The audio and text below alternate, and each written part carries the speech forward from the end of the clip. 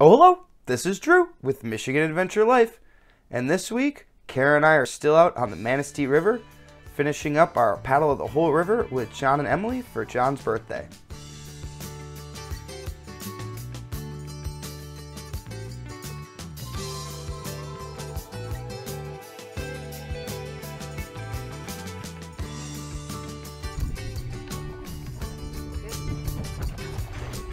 After the portage the day before, we're finally back on schedule.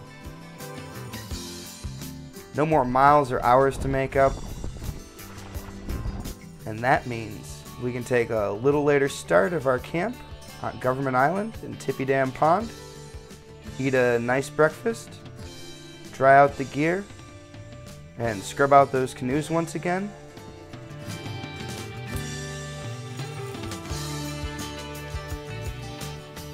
And most importantly, can filter a ton of water for the last couple days paddling down the river.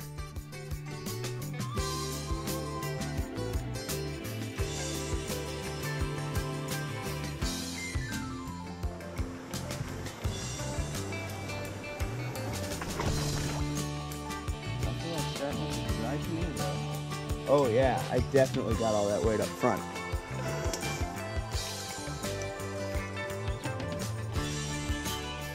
Before long, it's time to get everything back in the boats, get ourselves packed up and get our fishing rods in, and hit that river again so we can get on to our next stop. A portage at the world famous Tippy Dam.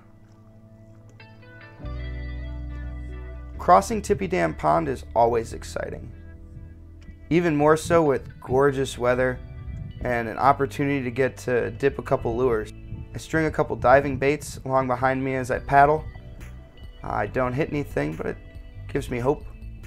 Takes my mind off my paddling arms.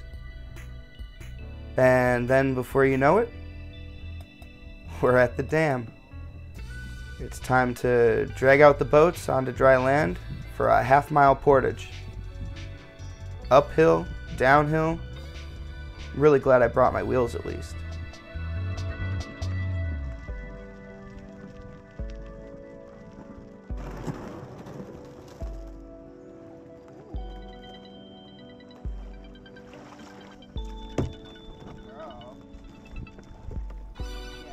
Kara loves portaging and mud flats.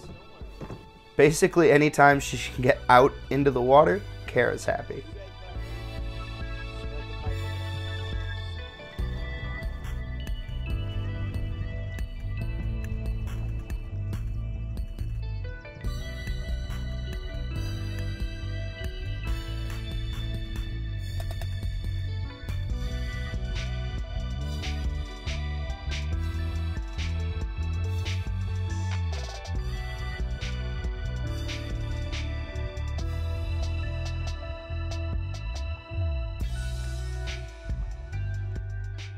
Our last campsite on the Manistee River is the last campsite we've really found on public land.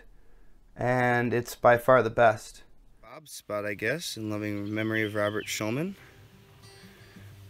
He fished this river for 50 years. This was his favorite place on earth. If you want a big fish, pray to Bob.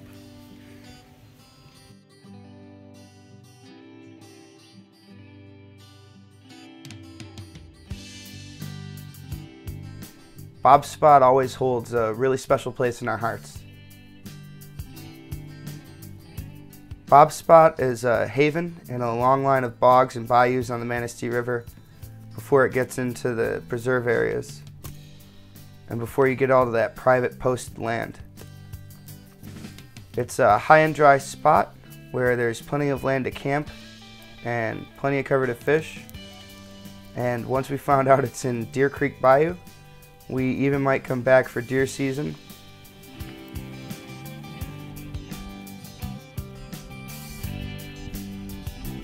And there is one killer fire pit set up because we love our campfire cooking. Is it good? After a quick meal in the Dutch oven of some mac and cheese, some noodly stuff, it's time to truly relax a little bit for the first time.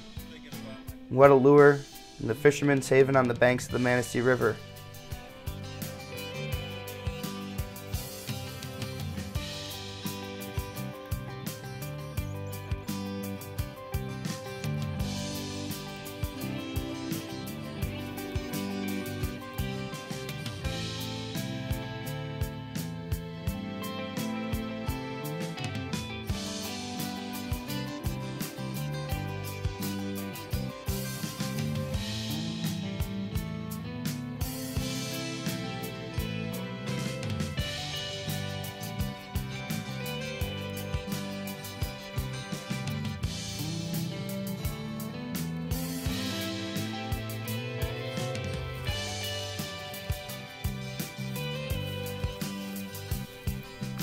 And with a lot of luck and a few prayers to Bob, we even managed to get a few up on onto dry land. Sure how, Jon.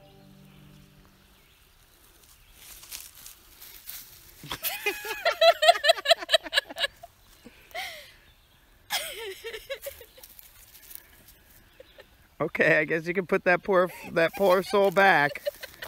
Go ahead. Oh, Jesus Christ. Wait, where's my hook? Give it. In the Sawyer.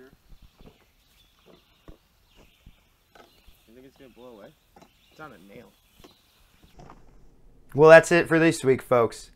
Uh, if you liked it, or even if you didn't, you know, throw us a bone, give us a thumbs up, click subscribe down there somewhere, uh, and then ring the bell so you get a notification next week when Emily, Jon, Kara, and I finish out our long paddle of the Manistee River. Also, if you could leave a comment down there and, you know, let us know how it's going, let us know what you want to see in deer season, because Dick and I are out and about getting ready to track down some of those deer you know? So also if you could remember to share this because i won't be able to out on the river uh, that'd be great. It's been mi adventure life. Thanks for watching guys